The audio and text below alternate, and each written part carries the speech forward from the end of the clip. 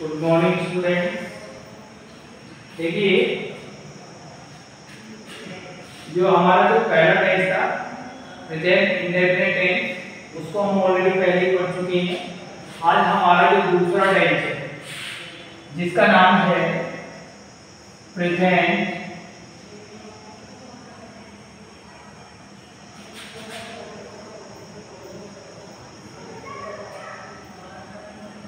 continuous. Tense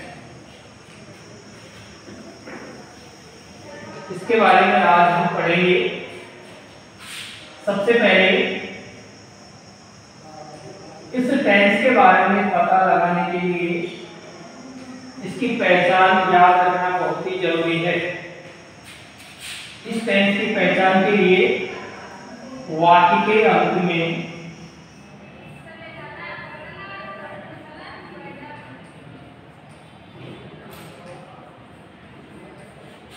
रहा है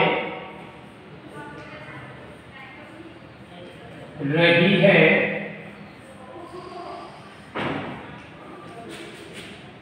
रहे हैं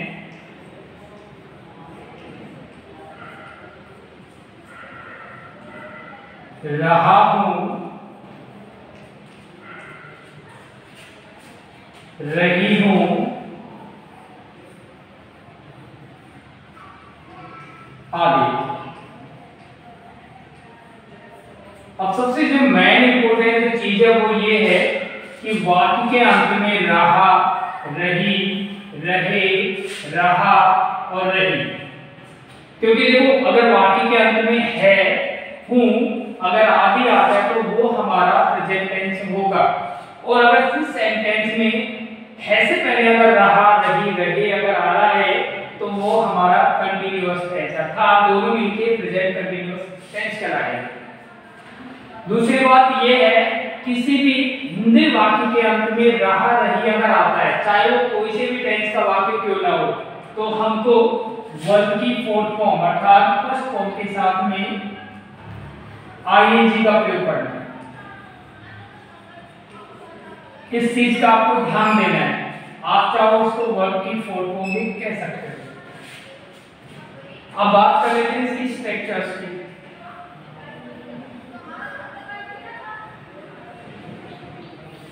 जैसे नंबर फ़र्स्ट चलता है हमारा सिंपल सेंटेंस जिसे हम पॉजिटिव भी कहते हैं।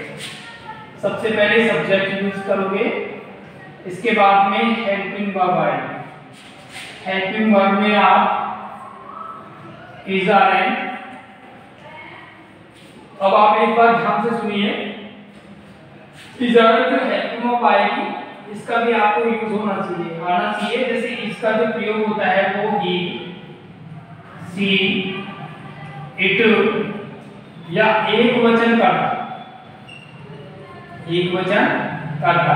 एक वचन करता जैसे किसी भी पर्सन का नेम हो सकता है एनिमल्स का नेम हो सकता है लेकिन वो सिंगुलर में होना चाहिए। आर का जो यूज़ होगा वो यू दे वी या प्लूरल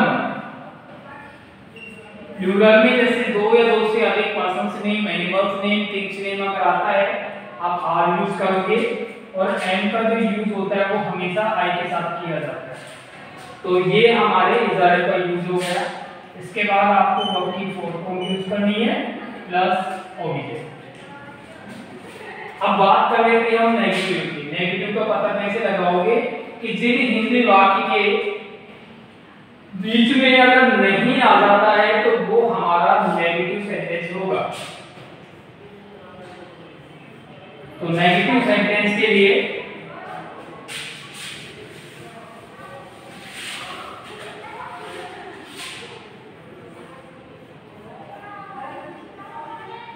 नेगेटिव सेंटेंस सबसे पहले सब्जेक्ट सब्जेक्ट के बाद में जो हेल्प ऑफ़ देगा कि आपकी इजारे इसके बाद आपको नोट यूज़ करना है।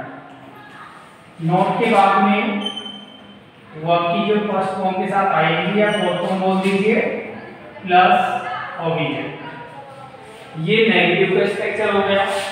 बात करते हैं यदि इंट्रोगेटिव में सेंटेंस है। इंट्रोगेटिव में कैसे? कि यदि कोई भी हिंदी वाक्य यदि क्या से शुरू होता है और लास्ट में क्वेश्चन मार्क्स आता है, ये क्वेश्चन मार्क्स होता है तो वह हमारा इंट्रोगेटिव सेंटेंस होगा। इंट्रोगेटिव सेंटेंस इसमें क्या करेगा ज़्यादा को स्टार्टिंग में रखेंगे। Is oblique are oblique am plus subject plus verb की fourth form plus object plus other word and question marks ये इंट्रोगेटिव का स्ट्रक्चर है। बात करते हैं नंबर फोर पे नेगेटिव इंट्रोगेटिव अब देखिए नाम से ही वैसे पता लग रहा है नेगेटिव होगा तो नोट ज़रूर आएगा और नोट हमेशा धन नंबर भी चलता है। और इंट्रोगेटिव है तो आपको सेंटेंस की स्टार्टिंग में हेल्पिंग वर्ब रखनी है। Is are am plus subject plus no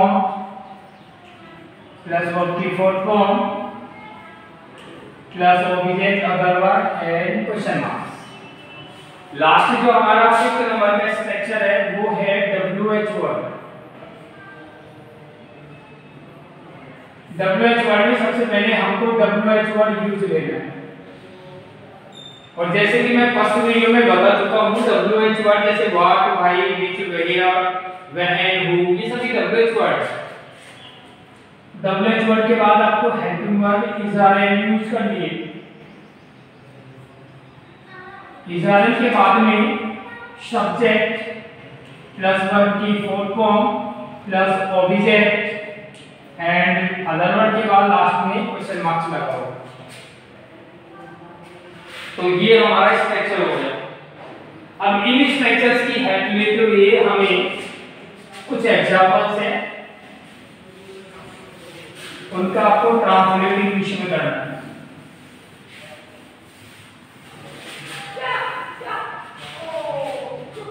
जैसे कि एग्जांपल देख लेते हैं अपन। नंबर फ़र्स्ट रमेश गाना गा रहा है। रमेश गाना गा रहा है। अब आप देख लीजिए वाक्य के अंत में रहा है। हमने आपको बताया, यदि वाक्य के अंत में रहा रही, रहे आएगा तो वो हमारा कंटिन्यूअस टेंस होगा। और लास्ट में है आ रहा है तो है, वर्तमान को प्रयुक्त करता है तो वर्तमान के लिए प्रेजेंट प्रेजेंट कंटीन्यूअस हो गया। दूसरी बात सेंटेंस हमारा पॉजिटिव सिंपल वाक्य है। तो सिंपल के लिए सबसे पहले सब्जेक्ट कौन है? रमेश। तो रमेश रमेश सिंगुलर है। अब सिंगुलर सब्जेक्ट होगा तो आपको इज़ यूज़ करना है। इज़ इसके बाद वर्ब वर्ब क्या भैया? गाना। तो गा सिंग इसके साथ में आप आईएनजी इंक्लूड कर दीजिए सिंगिंग द सॉन्ग तो ये हमारा पॉजिटिव सेंटेंस हो गया। अब जैसे मान लीजिए वाक्य में नहीं आ जाए, रमेश गाना नहीं गा रहा है तो हमको क्या करना है? थर्ड नंबर पे नोट यूज़ करना है। ये हो गया हमारा फ़र्स्ट नंबर साइकिल होगी सेकंड नंबर तो इसके जस्ट बाद में आपको नोट यूज़ करना है। तो ये हमारा नेगेटिव सेंटेंस हो गया। एक एग्जांपल और देख लो।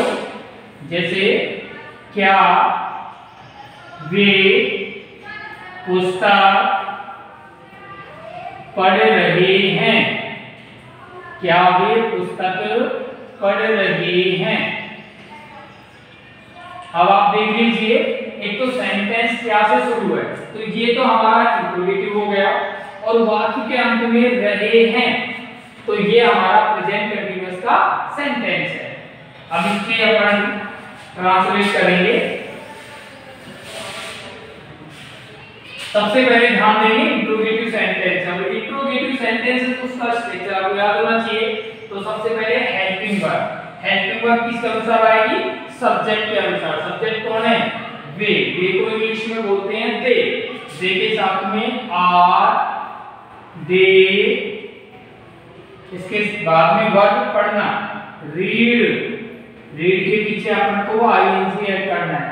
रीडिंग द बुक और लास्ट में लगा देंगे क्वेश्चन मार्क सेंटेंस बन गया हमारा are they reading the book अगर मान लीजिए, क्या वे पुस्तक नहीं और अगर आ जाता है इसमें? तो नहीं का मतलब नेगेटिव तो इसका मतलब सेंटेंस हमारा नेगेटिव है और क्या से शुरू है तो इंट्रोगेटिव तो नेगेटिव इंट्रोगेटिव तो वापस से हम थर्ड नंबर पे नोट लगाएँगे आर फ़र्स्ट नंबर हो गया दे सेकंड नंबर हो गया तो इसके बाद में क्या लगा देंगे नो तो ये हमारा नेगेटिव इंट्रोगेटिव का सेंटेंस है एक अपन डब्ल्यू वर्ड में देख लेते हैं आप स्कूल कब जाते हो? आप स्कूल कब जाते हो? अब हमको पता होना चाहिए, बहुत से स्टूडेंट्स क्या करते हैं? कब जाते हो? तो बहुत से स्टूडेंट्स क्या करते हैं, वो सोचते हैं कि वाक्य के अंत शुरू में ना तो क्या आया है, और लास्ट में क्वेश्चन मार्क्स आ गए तो सोचते हैं कहीं ना कहीं एरर है। लेकिन उनको ये पता होना चाहिए कि डब्ल्यू एच वर्ड होते हैं, उनका जो मीन्स है सेंटेंस आपको बीच में मिलेगा। कब, कहा, क्यों, कैसे, कौन, ये सभी वाक्य के बीच में मिलेगा। क्योंकि क्वेश्चन मार्क्स आ रहा है तो इसका मतलब कहीं ना कहीं ये इंट्रोगेटिव सेंटेंस है और ये डब्ल्यू एच वर्ड में है। तो कब को इंग्लिश में बोलते हैं? वहन। वहन। इसके बाद सहायक क्रिया, कौन है? और सहायक क्रिया करता है करता कौन है? आ। देखो यू में तुम भी होता है आप भी होता है। यू के साथ में आर यू जाते हो नहीं सॉरी जा रहे हो। आप स्कूल कब जा रहे हो? तो बहन are you going to school और लास्ट में लगा दो क्वेश्चन मार्क्स अब देखिए दोबारा से, आप स्कूल कब जा रहे हो? वाक्य के बीच में कब आ गया? कब एक डब्ल्यू एच वर्ड है? तो सबसे पहले डब्ल्यू एच वर्ड यूज़ करेंगे। डब्ल्यू एच वर्ड आपने लगा दिया हुआ है इसके बाद सहायक क्रिया सब्जेक्ट के अनुसार। इसके बाद वर्ब की फॉर्म लास्ट में ऑब्जेक्ट और क्वेश्चन लास्ट एग्जांपल ले लो डब्ल्यू एच वर्ड में। मोहन, क्या कर रहा है। मोहन क्या कर रहा है? सेंटेंस के लास्ट में देखो क्वेश्चन मार्क्स आ रहा है और बीच में क्या आ रहा है? तो ध्यान दो, ये डब्ल्यू एच वर्ड का सेंटेंस है कि आपको इंग्लिश में बोलते हैं व्हाट इसके बाद हेल्पिंग वर्ब कर्ता के अनुसार, कर्ता कौन है? मोहन। मोहन कौन है? सिंगुलर नाउन और सिंगुलर नाउन के साथ में हमेशा ही यूज़ होता है। इज़ मोहन करना करना को इंग्लिश में बोलते हैं डू और डू के पीछे को अपन को आईएनजी लगाएँगे तो डूइंग एंड क्वेश्चन मार्क तो ये हमारा डब्ल्यूएच वर्ड का एग्जांपल्स हो गया तो स्टूडेंट्स ये हमारा प्रेजेंट कंटीन्यूअस टेंस कंप्लीट हुआ अगली वीडियो में हम नेक्स्ट टाइम जो कि हमारा प्रेजेंट परफेक्ट टेंस है उसके बारे में पढ़ेंगे धन्यवाद